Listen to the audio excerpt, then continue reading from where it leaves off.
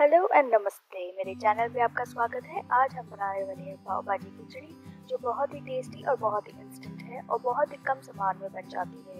इसके लिए मैंने लिया है एक कप चावल, आधा कप मसूर दाल और आधा कप मूंग दाल। इसे मैंने आधे घंटे के लिए भिगो दिया है। अब मैं अपने अनियंस चॉप कर रही हूँ। इसे लंबे लंबे स्लाइसेस में चॉप करना है।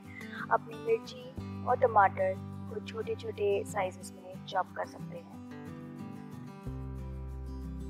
ये बहुत ही क्विक बहुत ही इंस्टेंट और बहुत ही टेस्टी खिचड़ी है। मुझे ऐसा लगता था खिचड़ी बहुत ही बोरिंग और टेस्टलेस होती है, लेकिन जो हमारा जो मेन इंग्रेडिएंट है pav bhaji masala it works like magic और आप इसे ज़रूर ट्राई कीजिएगा। और अगर आप ट्राई करते हैं तो मुझे ज़रूर बताइएगा कि आपको ये खिचड़ी कैसी लगी।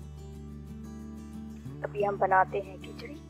इसके लिए मैंने लिया है तेल। तेल में मैंने डाला है जीरा। जीरा के बाद मैंने डाला है कटी हुई हरी मिर्च। इसे थोड़ा सा टॉस कर लें। टॉस करने के बाद अब अपने प्याज डालें। प्याज को हल्का सा ब्राउन करें।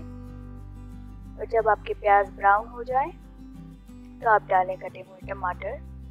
टमाटर को पकने दें और जब जैसे ही टमाटर पक जाए, आप अपने मसाले डालें। इसके लिए मैंने लिया है नमक, हल्दी, मिर्च और हमारा मेन इंग्रेडिएंट जो है पाव भाजी मसाला। अब मसालों को अच्छे से भूनिए, उसमें थोड़ा सा हल्का सा पानी डाल के इसे अच्छे से भूनने दें। जैसे आपके मसाले पक जाएँ, आप अपने भिगोए हुए चावल इस मसाले में डालिए दो कप पानी और ऊपर से मैंने डाला है धनिया पत्ती।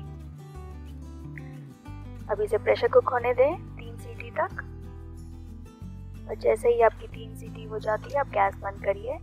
पर तीन सीटी के बाद आपके आपकी जो खिचड़ी है वो कुछ इस तरह दिखेगी। ऊपर से मैंने डाला है दो चम्मच घी। घी डालने से इसका टेस्ट बहुत ही ज़्यादा एनहेंस हो जाता है तो घी ज़रूर डालिएगा और आपकी खिचड़ी तैयार है। अगर आपको ये रेसिपी पसंद आई है तो मेरे चैनल को सब्सक्राइब करना ना भूलिएगा।